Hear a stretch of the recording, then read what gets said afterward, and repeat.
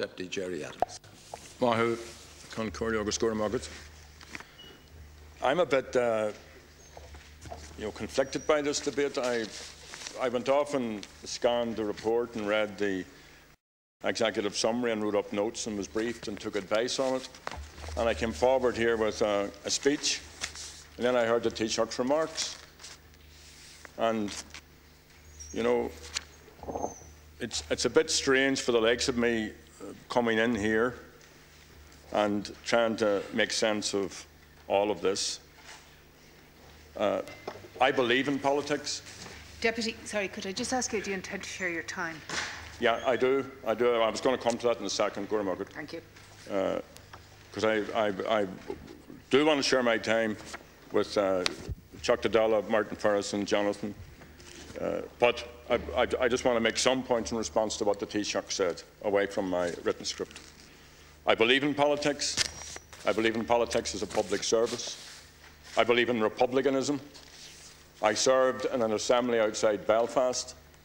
There was none of the imagery of this institution on show. I look at the bust of James Connolly behind me. I look at Pearse. I think of the 1916 proclamation. I think of Markievicz, the first woman elected as a Minister for Labour, who died in a poor hospital.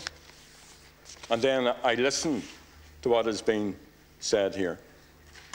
The Fine Gael manifesto refers to golden circles, crony government, crony capitalism. The Taoiseach talked about a full and substantive debate. This is not a full and substantive debate. This is a series of statements. I, I, I have no interest in, in Michael Lowry. I accept the report. I don't know the man. I've never spoken to him. I think that we should deal with him because the report was commissioned, the investigation was commissioned by the Dáil. Incidentally, not because you know, someone wanted to sort all of this out. And I'm a newcomer here. The Taoiseach's been here for, I think, 36 years, so he knows everything there needs to be known about this institution. The, the tribunal was set up because a well-known businessman went on the tour in Florida. That's, that's, and that has happened nearly in every single instance here, that something has got into the public arena, and then the politicians have played catch-up to try and deal with it. The Fine Gael manifesto and its section on reform says, in any republic the people are supposed to be supreme. Judged by that standard, Ireland today is a republic in name only. Your words, not my words. And when I said this in the course of the election, all sorts of commentators jumped all over me. So here we are to today. Last week, when this report was published, and I'm not naive, I, I learned my politics on the streets and in terms of campaigns. When I say I believe in republicanism, republicanism places citizens at the centre. The citizen is in charge. And Phoblacht and Pobble. It's, it's, it's about rights, it's about equality, it's about treating everyone properly and decently. So, I was very surprised, I have to say, that when this report was published, that it was business as usual here. All the things I'd read about and seen and watched, and I sat in the visitors' gallery and so on, were happening under a new regime. And when myself and other Sinn Féin deputies sought to have time to debate this report, and it was being debated the length and breadth of the country. And when I say the country, I mean the island. It's hard for me to get used when people talk about the nation. You know, it doesn't stop at the border. It's the entire nation and as my friend Barry McElduff would say, and its offshore islands. But when this was being debated everywhere, the government refused to allow it to be debated here. And then the Taoiseach's uh, response to very reasonable questions uh, from me about the behaviour of Fine Gael, as, as outlined in the report, not my view, but as outlined in the report, was to jibe about the Northern Bank robbery. And I, I have to say that's, that's the way you want to go at this, fair enough, but I have to say that it was hardly a mature or statesperson-like response and I was disappointed in it, Taoiseach, because I always found you on a personal basis to be very fair and very, very uh, decent. So, if we're going to have a debate about these issues, if what we say rhetorically about bringing in a new era, about an, rebuilding the Republic, well then let's, let's deal with the issues in a very upfront, friendly, fraternal, but very, very straightforward way. I think the fact that we are not having a proper debate today flies in the face of government protestations that it's a government of reform. And it highlights the imperative of business in this chamber to be conducted in a different way. There's no motion. There's, there's you know, we'll, we'll, we'll talk our way through all of this and we'll say what we say about it, and shinny. And the government may or may not at some point bring in some measures. And Sinn Féin is prepared to work with this government, prepared to work with this government, because we believe, not in this government, not even in Sinn Féin, we believe in a republic. We believe in a genuine republic on the island of Ireland. So the government have made some commitments in the direction of this. And you know, I note the absence of the Taoiseach here today. Where, where's the Taoiseach? Why, why isn't he here with the Taoiseach, dealing with these uh, matters?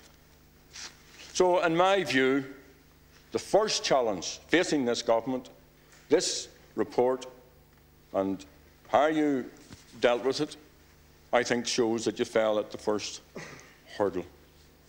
And I accept that you were, was dropped on you, you didn't have notice of it, all of those things, as far as I know, and I don't I don't make any judgment on any of that at all. And then there's the issue of tribunals. Sinn, Sinn Féin supports the notion of tribunals. We don't support the notion of 14 years and all the millions that were spent on it and so on and so forth. And th there are cases where you have to have an investigation into some issues, but we can't get investigations into other issues. You know, I've, I've met citizens since, since I became a Teachta I have met citizens, women who were butchered in the hospital in Lourdes who can't get an investigation in, into that. Other citizens up and down the country who are trying to get uh, the, the, people here in this city who are living in slums out, at, out, out the back on Dominic Street, out, out the back of our head office at, at Croke Villas, and, and, in the middle of, and they can't get any sort of justice in terms of what they deserve as citizens. And therefore, if you want an answer to why there's a lack of confidence in the, the sort of political system. It seems there's one, this is a cliche, one law for the rich and one law for the poor. If you're part of the golden circle, you get a tribunal. Now, where's the tribunal for the, the social offender? Where, if, if, if, if someone who is in poverty or, or who falls into some offence and, and, and this is not to accept any wrongdoing, but where, what do they get? They get hauled in and are put through due process. If you're a political activist, what, uh, you know, the Shell to people, I think six of them are locked up for six months trying to defend their communities after what I think was a corrupt decision by a government to give away natural resources. And these very law abiding uh, family men from your county ended up in, uh, in, in prison. And where's the tribunal for just poor people? Just poor people. You're well known. I still walk the streets. People come to me. People who are trying to recover from drug addiction come to me. There were more people died from drug addiction in this capital city within the echo of the GPO than were killed at the height of the Troubles in similar neighbourhoods in the six counties. And why did it happen? And why was it tolerated? And why did people have to fall back and defend themselves? So. Just to let you know, you have one minute. Okay. Go to market. All of the other bits and pieces, and I, I beg leave of Martin to give me slightly more, more time here. It's all here. You know, I'll quote it. Others have quoted it, but I'll, I'll do my best, just in terms of the famous or infamous 50,000. The immediate donor was outside the jurisdiction The donation was misrepresented in the books of the immediate donor.